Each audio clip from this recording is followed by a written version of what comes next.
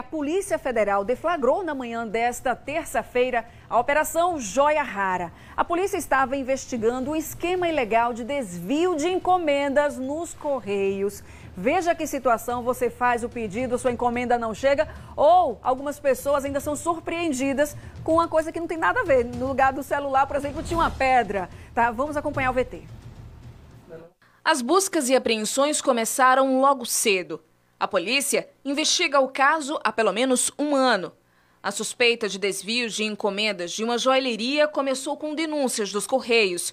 O principal suspeito dos extravios é um ex-funcionário da estatal. Esse material ele chegava ao centro de entregas e encomendas dos Correios aqui em Aracaju.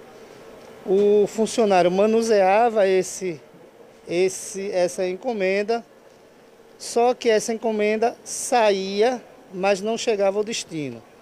É, é, bom frisar, é bom frisar que para os correios aquela encomenda não havia saído, não havia dado a saída para chegar ao destino. Era uma manipulação do próprio funcionário que, é, é, através do seu procedimento, é, fazia com que se acreditasse que a encomenda ainda se encontrava nos correios. No entanto, ele levava essas encomendas e, obviamente, essas encomendas não chegavam ao seu destino. O que faz a polícia suspeitar do envolvimento de terceiros? Até onde a gente tem, até os elementos que nós temos, é, pelo menos nos correios, esses desvios eram feitos por eles, por ele. O que a gente tem aqui é tentar encontrar os receptadores, né, que é um elo muito forte, muito importante dessa cadeia que a gente está investigando. Na Polícia Federal, o suspeito passou por oitivas e confessou a autoria do crime. O investigado deve responder por peculato, crime que leva de 2 a 12 anos de reclusão. Segundo ele, ele vendia essas peças na rua de forma aleatória.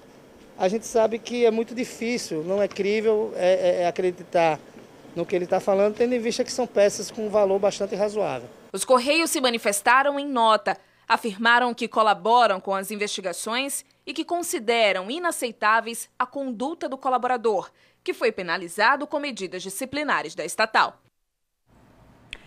Não dá nem para dizer assim que um cara desse, ah, é muita inocência dele achar que não vai cair. Acho que é burrice mesmo. Deve ser burrice o cidadão aprontar uma dessa dentro de uma empresa como os Correios né, e achar que não vai cair.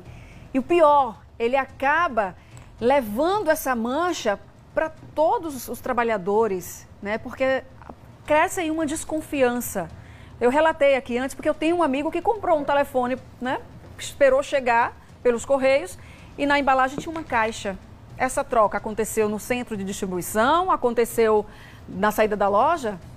A gente observa nessa reportagem que muitas dessas trocas, e como outras reportagens que a gente já exibiu e no país inteiro, acaba acontecendo dentro dos centros de distribuição dos Correios por pessoas como essa aí, como este cidadão que foi preso, né? infelizmente.